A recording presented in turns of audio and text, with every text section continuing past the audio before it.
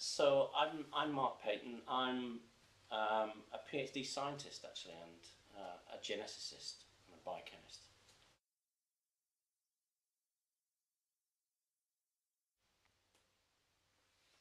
So very early clinical studies are usually done in a safe clinical setting, where if something goes wrong, there's somebody there who can look after you. As you get into later studies, it tends to be more and more you're them something and you go home and you give them a diary. Nowadays, a lot of studies have electronic diaries and you fill the diaries in electronically. If you don't do them, it reminds you. so, so it kind of prompts you to do um, things. Uh, because it's actually, it's actually borderline whether you can actually hospitalise, you know, 500 patients for three months each. So it's only those very early studies where you're worried about what the safety risk is for a, for a clinical trial that you really do that in, in a clinical trial centre.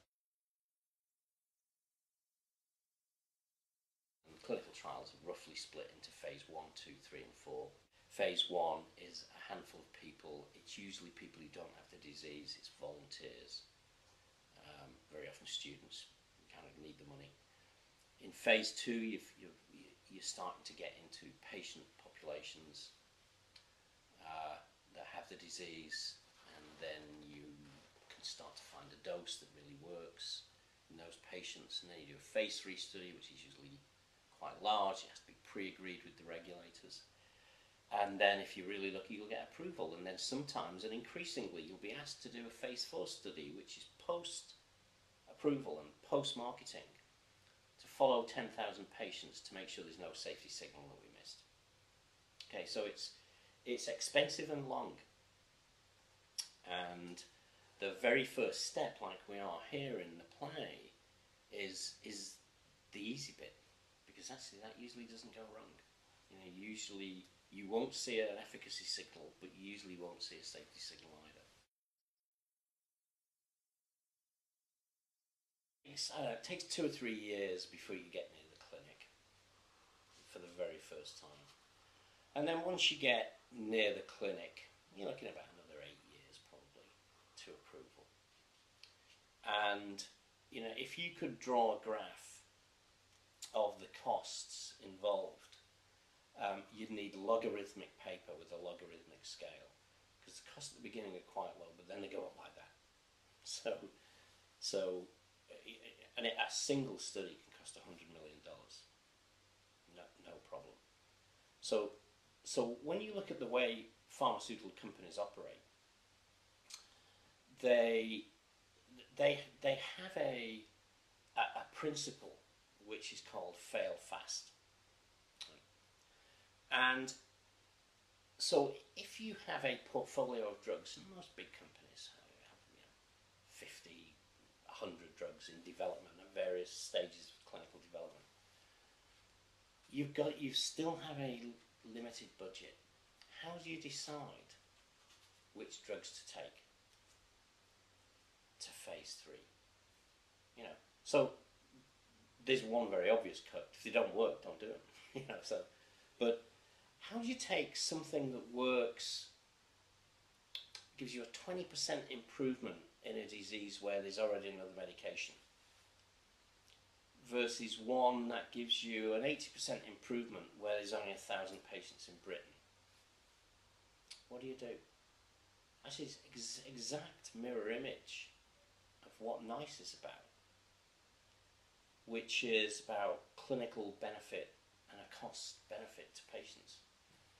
And you know, we're not interested in the next thing which is 1% better. We're interested in really life-changing medications. Actually, there's a whole, I don't know, alternative pharmaceutical industry um, devoted to what is now called repurposing. It's a pretty awful word. So it's the repurposing of drugs that were developed for one indication in another indication and those indications can be miles apart. You know, it could have been developed for neurology and now you're using it for asthma. You know, it could have been developed for uh, as an anti-tumor agent and now you're using it obstructive pulmonary disease. You know, and and so things like that happen, and a whole industry has built up on the back of doing that because it's moral, but it's also profitable. You know, the drugs are out there, and you know they're safe. Why go back to the start and spend all this money and all that time and put patients at risk when if that works, why bother? Some of the drugs that were recently developed for depression, they actually used in smoking cessation, example. That's one example. Some of the drugs that were developed as anti, you know, anti-inflammatories are actually being used in oncology now. You know, and part of that is that you know we just understand more. You know, so some of the mechanisms that we thought were unique to a particular disease actually are pretty relevant to other diseases as well. Um, but it's also the fact that you've paid a billion dollars to get a drug approved, you, you want to try it in all the diseases where it might possibly work.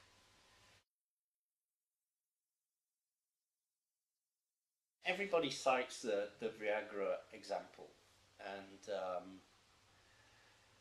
uh, you'll hear several different stories, and who who knows what one's true. But you know, the one that you know, the one that I like the best around this is that a lot of people you're supposed to return your medication after a clinical trial, and um, in, in, you know, in this particular case with Viagra, they, they didn't.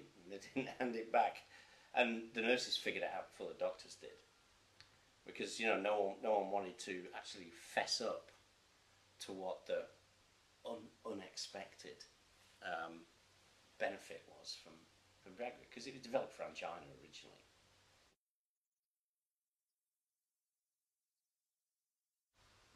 Drug development will be driven by changing demographics. So, if if you could, you know, if you could go back to the early 1900s and diagnose Alzheimer's disease properly, bet you'd hardly find it. And, it, and it's probably not because it was misdiagnosed, it's because, apart from rare genetic variants, it's a disease of the aged, of the elderly. Most people didn't make it to 50 60, so you never saw it. Actually, most people's life expectancy is 80. So if you look at a neurodegenerative disease like that, that, is just huge. It's a time bomb. You know, and all of the other diseases of aging, you know, osteoarthritis, you know, all these, you know, diabetes, you know, all this kind, all this kind of thing. What, what, how do you, what, what are the diseases of the elderly, and how do you prioritise healthcare costs? It's it's the same issue that pharma companies face um, in in developing drugs. It's it's in part about yes, how can I recoup my costs because you know we are a business and we've got shareholders and we have to do it. But you'll always find room for development of um, medicines where it's maybe not that obvious that there's a huge market. It's really important to continue to do medical trials.